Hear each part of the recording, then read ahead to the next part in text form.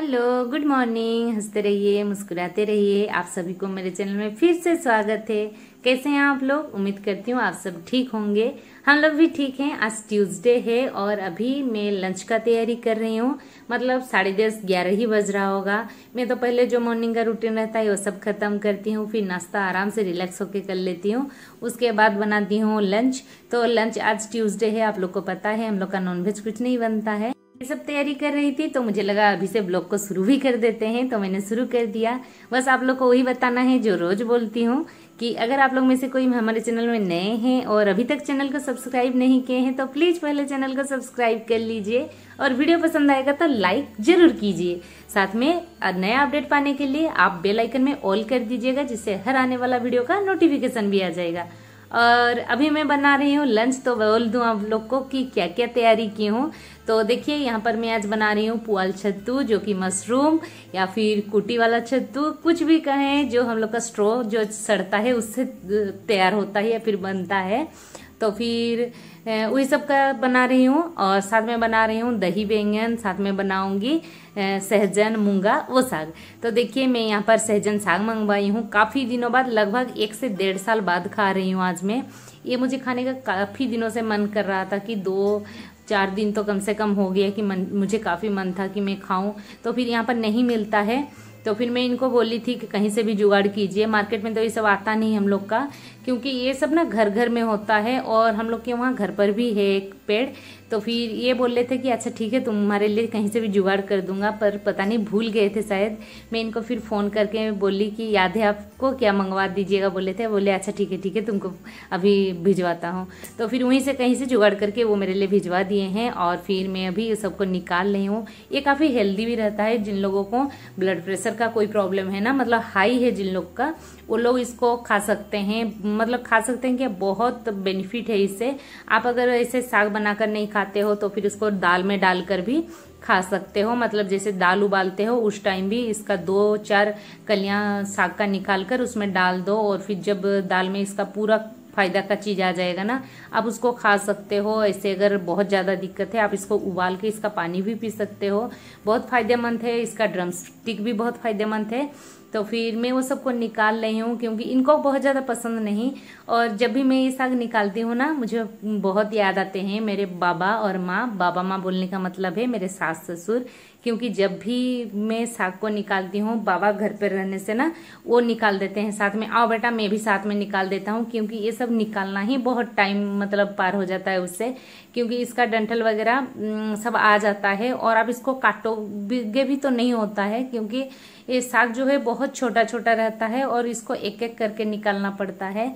मैं तो ऐसे पहले निकाल देती हूँ, फिर मुझे दो बार इसके लिए परेशान होना पड़ता है, क्योंकि एक बार मैं पूरा निकाल देती हूँ, फिर छोटा छोटा डंठल सबको एक एक करके चुनती हूँ और बाबा होने से कितना अच्छा हेल्प कर देते हैं तो तुरंत तुरंत हो जाता है। तो फिर मैं उनको बहुत मिस करती हूँ और घर पर जाने से वो मेरे लिए ज़रूर से इसका जुगाड़ कर देते हैं। तो देखिए, जैसे मैं साग को निकाल कर रेडी की, उसमें काफ़ी टाइम लग गया। उसके बाद मैं आ गई हूँ, आज थोड़ा जो मलाई बना जमा करके रखी थी, उसका थोड़ा निकाल दूँगी घी। तो फिर उसके लिए थोड़ा तो पीस लेना पड़ता है, जैसे ग्राइंडर में, और बहुत तुरंत हो जाता है, इसके लिए कोई टाइम एक्स्ट्रा नहीं लगता है। और मैं सोच रही हूँ कि थोड़ा सा जमा हुआ दही है घर पर और साथ में थोड़ा सा यहाँ से छाछ निकल जाएगा। तो फिर वो थोड़ा सा ठीक है और मैं दही बैंगन बनाऊँगी तो मुझे थोड़ा सा पतला दही चाहिए।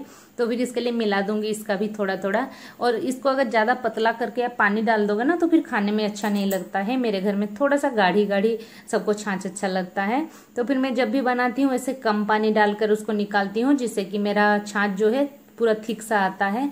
और उसको अगर आप ड्राई रोस्ट, जीरा पाउडर, साथ में नमक, ये सब डालकर खाते हो, पूरा मार्केट का छाछ जैसे लगता है। देखिए, काफ़ी दिनों का जमा हुआ मलाई था तो फिर इतना सारा निकल गया। तो इतना तुरंत भी हो जाता है और इसको मैं आज बनाऊँगी, घी को निकालूँगी। देखती हूँ, अभी तो फ़िलहाल फ्रिज में रख देती हूँ, जब फुर्सत होगा तभी बनाऊँगी। और मेरा छाछ जो है, काम में आ जाएगा। ये सब काम निपटा लिया और ग्राइंडर को भी रख देती हूँ। अभी फिर अभी खाना बनाने के लिए जाऊँगी। देखिए, चावल तो उस तरफ़ बन गया है मेरा। और अभी मैं यहाँ पर बैंगन को फ्राई कर रही हूँ, दही बैंगन के लिए। और सहजन का साग बनेगा, साथ में मशरूम बनेगा और कुछ नहीं। आज का लंच यही है। एक तरफ़ बैंगन को फ्राई कर रही हूँ और दूसरी तरफ़ दही को फेंट रही हूँ मैं। जिससे कि लंच जल्दी जल्दी रेडी हो जाए। साढ़े बारह, एक बजे तक रेडी कर दूँगी तो फिर मेरी बेटी क्या होता है, एक दो दिन हुआ शुरू की है, वो उसका पापा आने से पहले बोलती है, मम्मा, मुझे खाने दे दीजिए। पता नहीं, उस रूम में वो टीवी देख देख कर खाएगी, इसलिए वहीं पर खाना चाहती है और अकेले होने से वहाँ पर आराम से खा सकती है। इसलिए बोलती है, ये सब तैयार कर लेती हूँ, फिर मिलती हूँ आप लोग से। हेलो फ्रेंड्स गुड इवनिंग देखिए, अभी शाम हो चुका है और मैं तब से जो ब्लॉग स्टॉप की थी और फिर स्टार्ट नहीं कर पाई थी। तो अभी हम लोग थोड़ा मार्केट निकल रहे हैं। देखिए मैं तैयार भी हो गई हूँ। ज़्यादा कुछ नहीं कुछ सामान मुझे एक्सचेंज भी करना है कुछ और सामान लाना भी है। तो चलिए मार्केट चलते हैं फिर घूम के आएँगे फिर मिलेंगे। मास्क लाए मेरा वाला उसी रूम में होगा मैं ले आई मास्क नहीं लाई थी। आइए शाम हो जाएगा। शाम से पहले लौट आएँगे। बेटी को नहीं ले रहे। हैं हो गया आज का साइकिलिंग हाँ? गिरोगी? एक काम करो, घर पर रहना, है? हाँ? अभी तुरंत आ जाएँगे वापस। गेट को गिरेगा? और साइकिल जिसमें ढकते हैं, उसको भी ले गई थी साथ में तुम। कहाँ घूम रही है सुष्मिता? घूम रही है भाई को लेकर? मज़ा आ गया। अच्छा तुरंत आ जाएँगे हाँ तुरंत आ जाएँगे हम्म तुम अगरबत्ती दिखाए रहना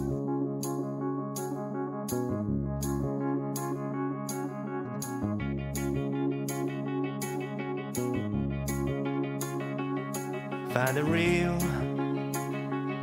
find the real me. So let's go. Seize the feeling. Cause you know, It's time for the meaning. Now we show. हम लोग आ गए अभी शाम का कितना बजे? साढ़े सात बजे पहुँचे ना हम लोग? हम लोग आए, फिर आने के बाद मैं अभी रोटी वगैरह बनाई और सब्ज़ी नहीं बनाई हूँ, जाऊँगी अभी किचन में बनाने के लिए। बस मेरी बेटी पढ़ाई कर रही थी यहाँ पर तो बीच बीच में उसको देखने आ रही थी। उसके लिए बहुत कुछ आया है। मेरे लिए इतना कुछ नहीं आया है, पर उसमें से सबको तो वो सेट करके रख दी। मुझसे छुपा रही है, बोलती है, आप यूज़ कर लोगे। बहुत कुछ सामान लाई, ला दिए हैं उसके लिए। और एक को तो वो पहन रही है, दिखा ला, यहाँ पर। ये उसका आया है। एक ड्रेस का मैचिंग का आया है। ये दुर्गा पूजा का प्रिपरेशन हो रहा है। जाना है इधर उधर तो इस वजह से हम लोग आज से प्रिपरेशन करना चालू कर दिए। और फिर क्या करना है? हाँ हम लोग ना तोराई ढूंढ रहे थे। तोराई कहते हैं ना उसको? तोराई।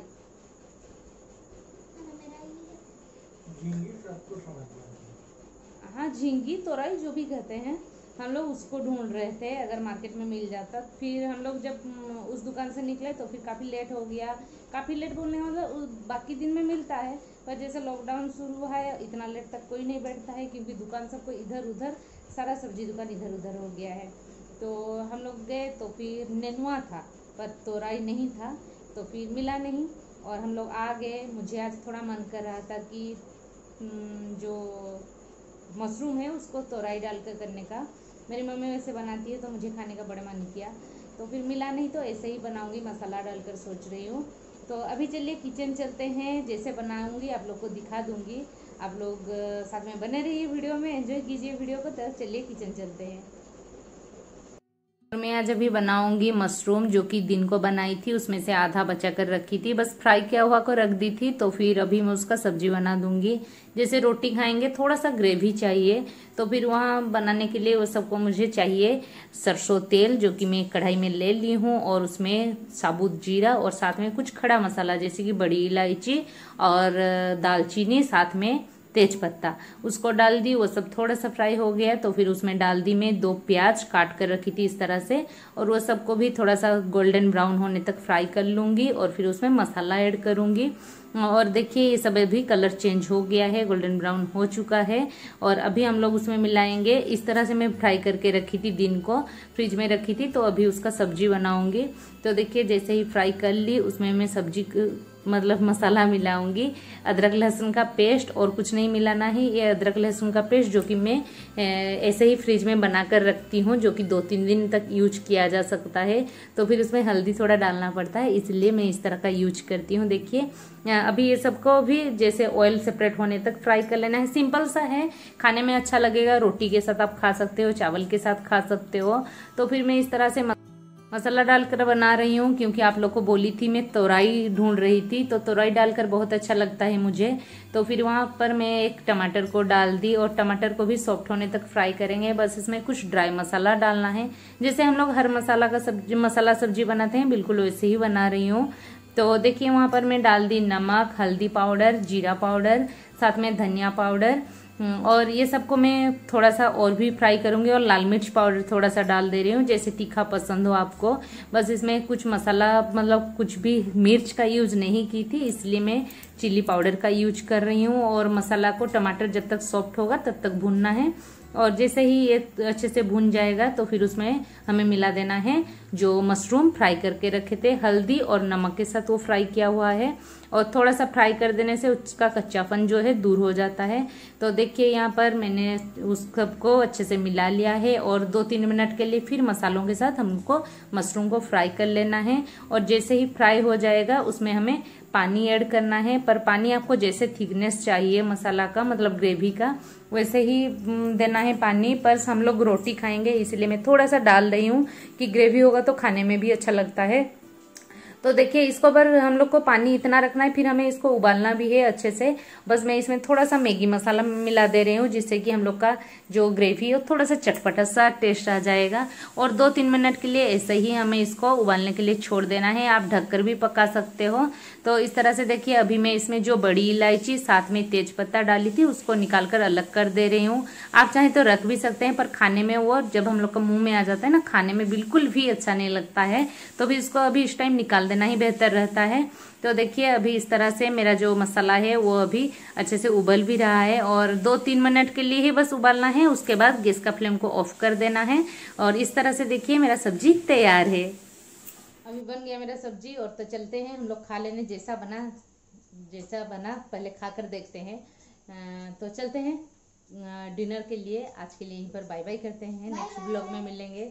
तब तक ले take care. Bye bye see you. Bye bye see you.